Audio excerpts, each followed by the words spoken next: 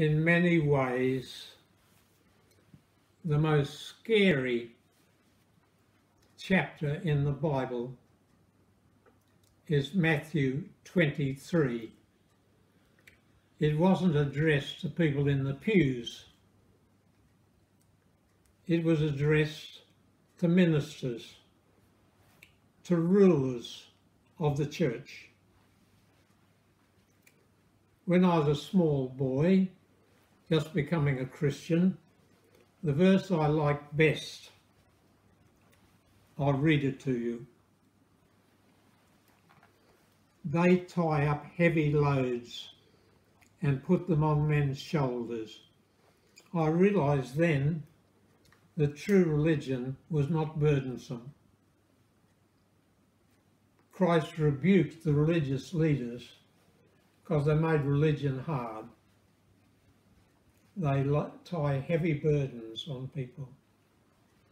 Jesus said, my yoke is easy, my burden is light. Look, he forgives us time and again. He loves us. He walks beside us. He's made 300 promises in the Bible for us. Eternal life awaits us. A new body awaits us. How we should love him. Because his religion is easy, his burden is light. But in this chapter, Christ condemns any religion that's burdensome. A religion that's only do's and don'ts is burdensome.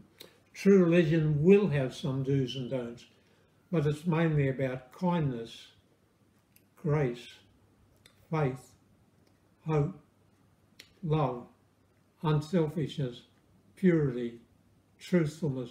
Never forget, sin is suicide. Purity is paradise.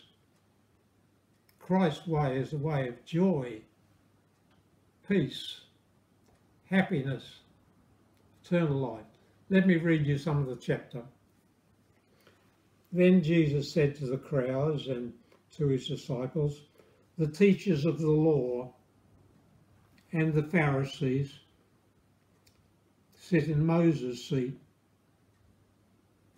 You must obey them in everything they tell you, meaning the things that are right, but don't do what they do.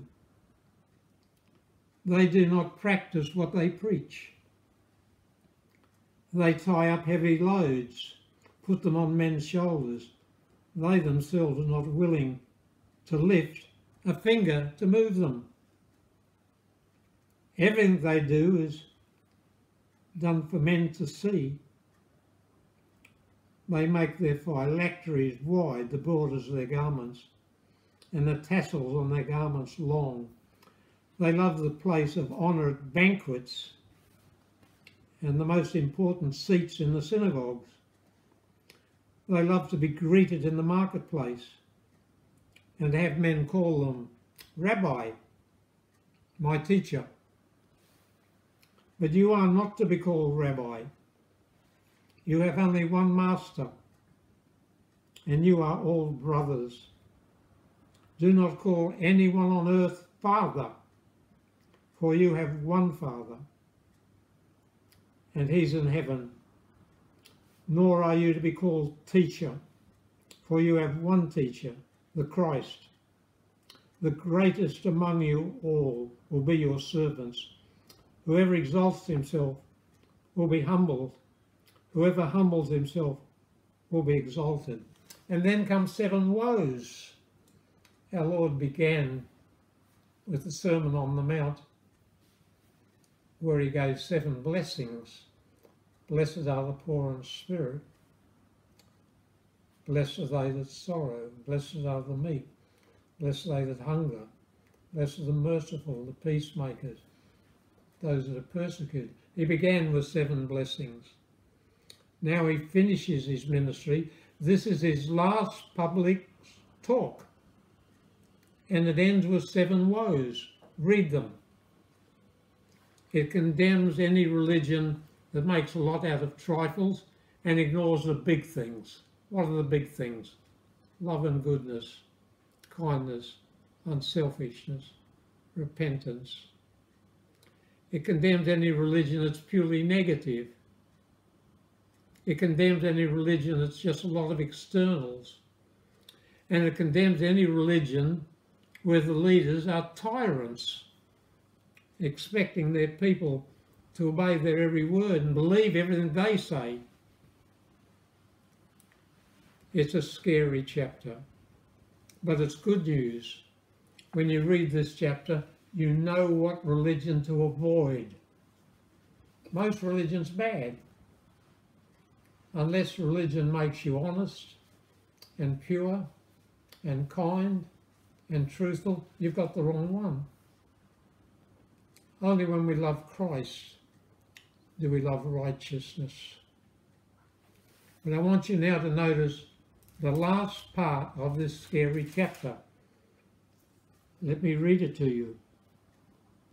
He says, O Jerusalem, Jerusalem, you who kill the prophets and stone those sent to you, how often I've longed to gather your children together, as a hen gathers her chicks under her wings, but you are not willing. Look, your house is left you desolate, for I tell you, you'll not see me again until you say, Blessed is he who comes in the name of the Lord. What humility of God the Son to liking himself to a hen caring for her chicks. My friends, we should fear to grieve God, but after that there's no need to fear God at all, for God is love. You know, there's three statements in the Bible about the nature of God. God is love, God is spirit, God is light. All these work together for our good. We see that Christ came to give himself for sinners. Most have rejected him. Most will reject him. Straight is the way. Narrow is the gate that leads to eternal life. Few there be that find it. It's there. Whoever seeks will find. Whoever knocks will have it open to him. Whoever prays will have answers. The fault is ours if we miss out. How often would I have gathered you? That's about me. That's about you. We're free to resist. He's not a bully. But he invites us to come. He says if we repent, all manner of sin and blasphemy shall be forgiven unto men. Him that cometh to me, I'll in no wise cast out. He invites us to eat the bread of life. He that believeth is not condemned, but has eternal life, has it now. Death becomes just a sleep, nothing to worry about. Sleep means we're going to get up. Sleep is restful. Sleep is restorative. For the believer, death is only a sleep. Needn't fear it. How often would I have gathered you? as a hen gathers her chicks, and ye would not. All who are lost are lost because of their own fault. All who are saved are saved by the grace of God, accepted. My dear friend, accept that grace today. God bless you.